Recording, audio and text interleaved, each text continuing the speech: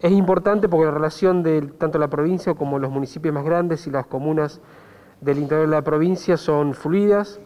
Hay programas y acciones que desde el Ministerio del Interior se han bajado y se seguirán bajando.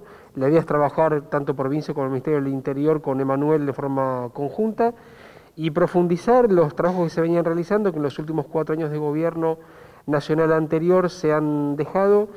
Principalmente la zona patagónica ha sido eh, la más perjudicada en ese tipo de políticas y bueno, obviamente que un compañero de la ciudad de Trelew que tenga ese cargo nos da la tranquilidad que las políticas de a nivel nacional se van a, ejecutar fuertemente en la provincia. El pago de los aguinaldos también está supeditado a este arreglo que, o este, esta refinanciación de, la deuda que, tenga Chubut, digo, para la forma de, pago? No, no, no. Lo que estamos tratando de, de canalizar a través del Ministerio de Economía y del Banco de la Provincia como agente financiero es poder eh, hacer una ingeniería desde el punto de vista financiero con alguna otra herramienta para poder abonar los salarios. Ya estamos charlando con los gremios, saldar en primera medida los dos rangos, rango 1 y rango 2, ver si en los primeros 60 días podemos o tenemos la posibilidad de saldar ese, eh, el aguinaldo de esos dos rangos y después seguir con el 3 y con el 4 a partir del mes de septiembre.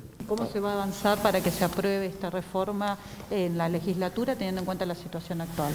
Necesitamos esa herramienta para hacer frente al pago de la masa salarial.